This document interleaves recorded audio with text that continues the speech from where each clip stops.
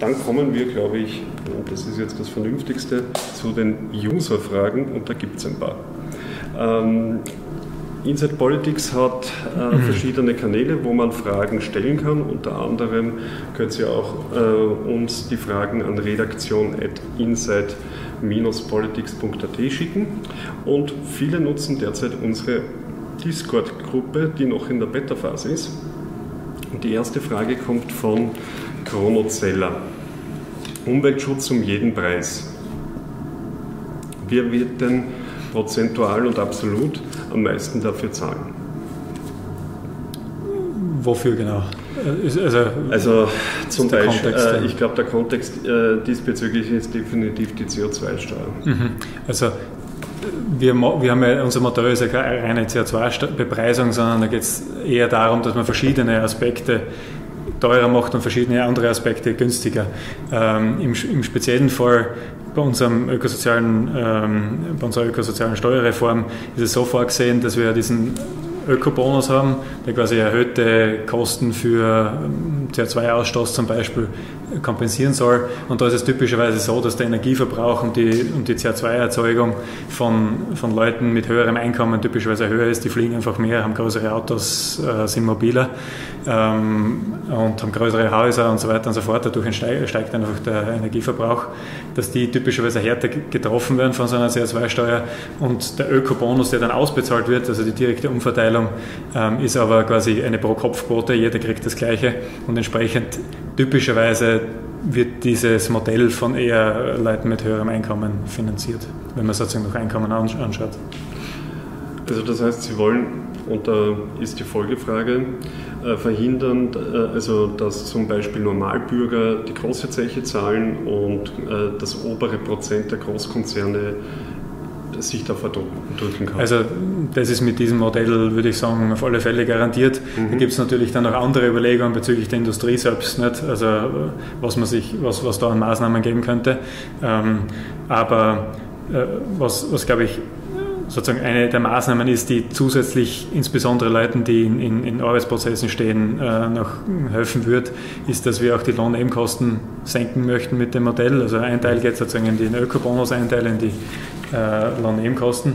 Und, ähm, und das führt dazu, dass quasi für Unternehmen es auch leichter wird, Leute einzustellen, was hoffentlich äh, dazu beiträgt, dass die Arbeitslosigkeit äh, sinkt. Aber irgendwie hört sich das doch ein bisschen nach Umverteilung an. Also, also es, ist, es ist natürlich eine Umverteilung von Leuten, die sozusagen, oder äh, Verhalten, würde ich sagen, und ja. Produkten, die eher schlecht sind für unsere Umwelt, hin zu Produkten, die eher gut sind für unsere Umwelt. Das ist die Idee dabei. Also es ist reine Marktwirtschaft, man sucht, versucht Kostenwahrheit herzustellen. Was bis jetzt sozusagen Kosten sind, die die Gesamtgesellschaft tragt, wird dann in das Produkt, in die Dienstleistung eingepreist und entsprechend wird die dann quasi, keine Ahnung, äh, wenn ich jetzt ein Produkt, das aus der Region kommt und biologisch hergestellt ist und so weiter, das wäre dann wettbewerbsfähiger als ein Produkt, das irgendwie billigst aus, aus Brasilien importiert also wird. Also mit anderen Worten eben nicht die Banane importieren, sondern den Apfel forcieren und gleichzeitig aber auch verhindern, dass der Apfel irgendwo anders exportiert wird. Also zumindest gibt es sozusagen Anreiz, nichts ja. von dem verhindert irgendwas, ja. nicht? aber sozusagen es wird einfach aus marktwirtschaftlicher Sicht interessanter, ähm, den regionalen Apfel zu kaufen, als die Banane zu importieren. Okay. Umgekehrt bei den Russland-Sanktionen gab es ja auch da immer wieder mal Probleme und zuletzt auch dann sogar Schwierigkeiten, dann über Serbien steirische Äpfel nach Russland zu exportieren. Aber ob das wirklich so sinnvoll ist, sei mal dahingestellt ist, ist eine, die, die eine Seite. Die andere Seite ist, dass wir uns oft auch in gewisse Abhängigkeiten begeben, weil wir relativ viel ähm, fossile Energie aus Russland importieren. Und in die Richtung würden wir auch mehr Unabhängigkeit schaffen, ähm, was, glaube ich, auch quasi den, den wirtschaftlichen Druck ein bisschen reduzieren wird. So, Chronozeller, ich glaube, das beantwortet deine Frage, weil er hat nämlich extra noch dazu geschrieben, wir müssen alle unseren Beitrag leisten, ist keine ausreichende Antwort. So, Alfons Honkler fragt, warum heißt er schwarz, wenn er bei den Grünen ist? Das ist eine gute Frage. Ja. Also ich, ich habe schon mal versucht draufzukommen, äh, woher, schwarzes, schwarzes T-Shirt, woher dieser Name kommt. Ähm, es gibt schon, also in der Familiengeschichte auch schwarze Bürgermeister und so, aber ich, ich glaube, ich, ich habe keine Ahnung, wo, wo, womit, das zusammen, womit das zusammenhängt, ob irgendwie in der Vergangenheit Leute Rauchfangherrer waren oder sonst was. Ähm, aber meine grüne, wie gesagt, meine grüne ähm, Zugehörigkeit hat sich schon sehr früh ausgebildet als, als Kind eigentlich durch meine Erfahrung in der Natur. Ja, ist auch eine Möglichkeit, zu diesen Themen zu kommen.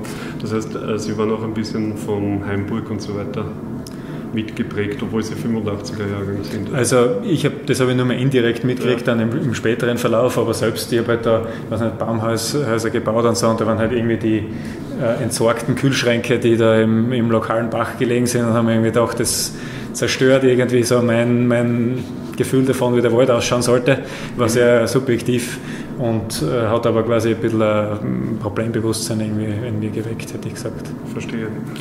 Äh, kann er aber echt beantworten, wie haben, äh, haben Sie vor, dass die großen Industrien dazu gebracht werden, weniger CO2 auszustoßen? Nochmal von Alfons Honkler. Also da gibt es ähm, eine Reihe von Maßnahmen. Ich würde sagen, das eine ist einmal ähm, der ETS, also der europäische Emissionshandel, unter dem die meisten von diesen äh, Industriebetrieben liegen. Da wäre aus meiner Sicht wichtig, dass wir versuchen, einen Mindestpreis an, an der Börse zu erreichen, weil aktuell das so ist, dass die Preise teilweise so niedrig sind, dass es keinen Anreiz gibt, was zu ändern. Das alleine bringt aber den, bei den Industrien noch nicht äh, sozusagen ausreichend was. Was, glaube ich, in erster, das, das Allerwichtigste ist, dass wir ähm, langfristige Zielvorgaben als Politik haben, also eine, einen klaren Plan, wie die Zukunft ausschauen wird, dann haben Unternehmen Investitions- und Planungssicherheit und dann können sie auch umstellen in Richtung ähm, Erneuerbare oder die Prozesse. Oft sind es ja Prozessemissionen, ähm, die da die Probleme verursachen, also auch die Investitionen tätigen, um einen gewissen Prozess durch eine neue Technologie zu ersetzen, die CO2-neutral ist zum Beispiel. Das Dritte ist wahrscheinlich, in manchen Bereichen wird es auch eine gewisse staatliche Unterstützung, Förderung, Forschung oder was brauchen, um wirklich aus diesem, aus, aus, aus ganz schwierigen äh, sozusagen Fällen rauszukommen. Verstehe. Ähm, so, dann fragt er noch, und wie genau sollen lokale österreichische Politik äh, da etwas verändern? Weil selbst wenn äh, CO2 ganz auf Null reduziert wird ähm, und der Ausstoß eben äh, auf Null reduziert wird, macht das weltweit nur 0,2 Prozent aus. Also das Argument war, glaube ich, sehr stark in der Zeit der Verhandlungen rund um das Kyoto-Protokoll. Seit es den Pariser Klimavertrag gibt, ist die Frage nicht mehr so spannend, weil jeder Staat in der Welt seine Ziele gekriegt hat. Ähm, und alle kämpfen sich damit ab, wie auch Österreich. Manche sind halt erfolgreicher, manche weniger erfolgreich. In der EU ist Österreich äh, eines der Schlusslichter. Ich würde sagen, bevor wir anfangen quasi, also man könnte jetzt sich überlegen, was nicht, jetzt die USA mittlerweile sind halt eher bei den sozusagen Verhinderern dabei, hat was mit ihrer aktuellen Politik zu tun. Äh, aber ich würde mir jetzt nicht quasi die, die Dreckschleudern aussuchen und die dann als großes Vorbild nehmen, sondern ich würde schauen, dass wir versuchen, bei dieser Veränderung, bei dieser Transformation, die kommen wird, einfach weil es die Physik vorgibt, dass wir da, das kommt selten vor in der, in der Wirtschaft, dass man weiß, was die Zukunft bringt. Das heißt, da vorne dabei zu sein, ist auf alle Fälle ein wirtschaftlicher Vorteil für Österreich und ähm, da sollte man quasi auch nicht irgendwie Innovationen verschlafen, weil sonst müssen wir dann irgendwann anfangen, chinesische Produkte zu kopieren und die, die chinesische Technologien und in die Situation möchte ich nicht kommen, sondern es sollte äh, schon so sein, dass wir quasi da vorne dabei sind. Ja, außerdem die Physik lässt sich leider nicht gesetzlich regeln. Ja, genau, leider. Äh, Kann man ja. nicht abstimmen über die Gesetze. Leider. Das wäre mal ein Thema. Ähm, wie wäre es hier sozusagen auch die CO2-Steuer europaweit einzuführen und sollte die EU zum Beispiel Strafzölle auf solche Produkte eben setzen? Da wird es kompliziert. Äh, ich würde sagen, zum ersten Thema ein klares Ja. Das sollte auf alle Fälle europäisch gemacht werden. Nur geht es nicht, weil Steuerfragen ähm, bei den Mitgliedstaaten sind, weil ein, also ein, ein äh, Einstimmigkeitskriterium vorliegt. Das heißt, es müssten die Polen, die üblicherweise diese Sachen blockieren, überall mitstimmen und das wird es jetzt äh, in den nächsten zehn Jahren, hätte ich mal gesagt, nicht geben. Ich kann mir schon vorstellen, dass es dann quasi jetzt mal haufenweise äh, nationalstaatliche Lösungen gibt und dass man die dann ersetzt durch europäische Regelungen, sobald sich das ändert, aber das ist Zukunftsmusik. Also es gibt ja zum Beispiel so Regelungen in der Europäischen Union, äh, wenn zum Beispiel jemand Werbeeinnahmen hat, aus einem anderen Land, dann kann er wiederum von diesem Land besteuert werden. Solche Regelungen gibt es schon, sind auch gerade in der Umsetzung. Aber das trifft, also, also gerade bei diesen CO2-Besteuerungen, also gibt es da keine, keine, keine europäischen Möglichkeiten momentan. Also darum gibt es ja auch diesen europäischen Emissionshandel, ja. der ist nämlich nicht dem Einstimmigkeitsprinzip unterworfen und darum ist der quasi die Lösung äh, damals gewesen. Ähm, zum anderen Thema wollte ich noch was sagen zu diesen Importzöllen. Ich glaube auch, dass das eine Lösung sein kann. Nur muss das ja wieder mit, äh, damit es quasi wettbewerbskonform sein kann mit CO2-Steuern auch im Inneren zusammengehen. Also jetzt nicht so, wie es vorgeschlagen wird von der ÖVP, wenn man quasi nur den Import äh, bezahlt, ja. aber sozusagen nur ausländische Produkte bestraft, dann geht das natürlich nicht, sondern aber wenn man, ich kann mir vorstellen, dass ein Modell möglich ist, das ist auch sozusagen in der, im Detail sehr kompliziert, das so auszuformulieren, dass es auch WTO-konform und so weiter ist, aber ich denke mir, dass da, also ich würde mich da auf alle Fälle reinsetzen, Richtung, Richtung Europa, dass wir sowas hinkriegen. Gut, und das heißt, Sie würden das sozusagen äh, auf nationaler Ebene mal forcieren und dann eben in den europäischen Diskurs gehen. Genau. Und in der Zwischenzeit ist es eh so, auch im ETS sind ja die Industrien, die wirklich, ähm, äh, wie heißen die, Energy Intensive und Trade Exposed, also wirklich diese Unternehmen, die sehr viel von ihrem Geschäft im Ausland machen, wo der Markt sehr global ist äh, und die sehr viel Energie brauchen, dass die teilweise aus dem ETS ausgenommen sind. Das heißt, die haben dadurch weniger Wettbewerbsschwierigkeiten. Gut, und die letzte Frage äh, von Alfons Hunkler wurde schon eben in der Frage von Konozella beantwortet. Da ging es nämlich nochmal um die Frage, dass halt sich Reiche freikaufen mhm, könnten. Mhm. Ähm, Daniel Froh oder auch Queen Maniac genannt fragt, ähm, was halten Sie von einer Expertenregierung und sollte dieses Konzept fortgesetzt werden? Also ich bin der Meinung, man sollte möglichst viel Expertise nach Möglichkeit auch von außen in die, in die Politik holen, auch in, in die Regierung.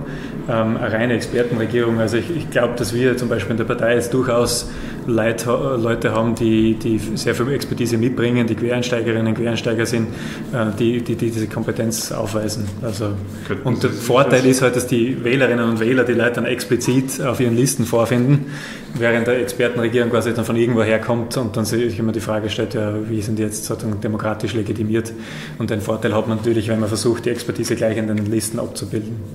Angenommen im Oktober oder im November ruft sie der Werner Kugler an und fragt sie, Jakob, willst du Minister werden? Würden Sie das annehmen? Ja, das müsste ich annehmen. Also jetzt müssen wir mal in den Nationalrat kommen, wir sind noch gar nicht drinnen. Mhm. Also ich würde auf alle Fälle sagen, ja, ich würde gerne Nationalrat werden. Äh, wenn, wenn wir dann tatsächlich einmal diese Diskussion führen müssten, ob wir in eine Regierungsbeteiligung kommen oder nicht, dann äh, würde ich das mal nochmal separat anschauen. Dann habe ich noch von 1 eine Frage, das ist die letzte User-Frage. Er hat neuerdings ein Problem mit der GIS. Aha, okay. Ja, ähm, es ist so, er hat vor etwas mehr als einem Jahr eine neue Wohnung bezogen und hat dann ähm, äh, einen Brief bekommen, hat einen GIS-Prüfer getroffen, der hat ihm gesagt, ist alles in Ordnung, Ihr Gerät ist nicht empfangsfähig. Dann hat er das noch einmal ähm, der GIS via Telefon auch nochmal hingewiesen und jetzt hat er einen Fragebogen von ihnen bekommen, weil er nur das Radio und nicht den Fernseher angemeldet hat und der Fernseher ist nicht empfangsfähig. Ähm, er hat sich dann ein bisschen erkundigt und hat dann festgestellt, dass äh, die GIS immer wieder dann argumentiert, man möge doch bitte ein Sachgutachten von einem Fernsehtechniker nachweisen und das erbringen, weil die GIS-Prüfer technisch nicht in der Lage sind oder nicht versiert sind, das zu prüfen. So, das wäre so ungefähr, wie wenn jemand vom Umweltbundesamt sagt, das kann ich nicht beurteilen, weil äh, bringen Sie mir da bitte eine Beurteilung, weil ich bin nicht fachkompetent. Hm. Ja, also da hat sich natürlich jetzt auch durch die ganze Digitalisierung einiges sozusagen geändert und, und ich glaube, sozusagen was die Bemessungsgrundlage von, von der GIS ist, da kann man sich schon Gedanken machen. Mhm. Ich bin grundsätzlich schon der Meinung, dass man an dieser öffentlich finanzierten ähm, also öffentlich finanzierten Rundfunk festhalten sollte. Das hat es ja auch in der Schweiz Abstimmung oder so gegeben, die auch genau. positiv ausgegangen ist. Ich glaube, dass in der Bevölkerung das grundsätzlich auch positiv gesehen wird. Die Frage, wie man dann eben im Detail das bemisst, ob jemand dazugehört oder nicht, ähm, ja, wäre ich, hätte also nichts dagegen, sich das mal genauer anzuschauen. Also eine Haushaltsabgabe, wie es zum Beispiel in Schweden oder Deutschland ist, dagegen werden Sie über das wieder eine Steuer. Genau, wäre eigentlich eine neue Steuer. Also er versucht es zumindest ähm, auf die Leute zu reduzieren, die das auch in Anspruch nehmen. Aber da äh, gibt es halt eben, kann ich auch nachvollziehen, ein gewisses Problem, das zu bemessen. Da Sie ja Wirtschaft studiert haben, wie wichtig ist es Ihnen ähm, im Bereich der Besteuerung und generell der Abgaben ein sogenanntes Verursacherprinzip einzubringen, dass man auch sich mehr darauf konzentriert, anstatt eben allgemeine Steuern zu haben? Also ich glaube, dass bei der, wenn die Steuerlast trifft, ist es ja oft so, dass es davon abhängt, wie die Märkte aufgestellt sind und wer Marktmacht hat. Das heißt, wenn ich, also ich ähm, irgendwie CO2 höher besteuere, dann ist die Frage, ob das jetzt eher keine Ahnung, äh, der, der, Verkäufer oder die Verkäuferin des Produkts oder die Konsumentin oder der Konsument äh, zahlt, in erster Linie davon abhängig, wie stark die Konkurrenz auf beiden Seiten äh, des Marktes ist. Und ähm, entsprechend kann das auch zu, einem Verursacher, zu einer Verursachersteuer werden. Also das hängt wirklich von, äh, glaube ich, weniger davon ab, wenn man jetzt mit der Steuer, wenn man sozusagen dazu verdammt, die Steuer abzuliefern, als, als, als wie sozusagen sich die Macht am Markt ausbildet, ob das jetzt quasi eher beim Verursacher oder eher beim Konsumenten liegt. Das war es für heute. Herzlichen Dank fürs Zusehen und wenn euch das Video gefallen hat, bitte teilt es hinterlasst einen Like oder abonniert unseren Kanal. Danke.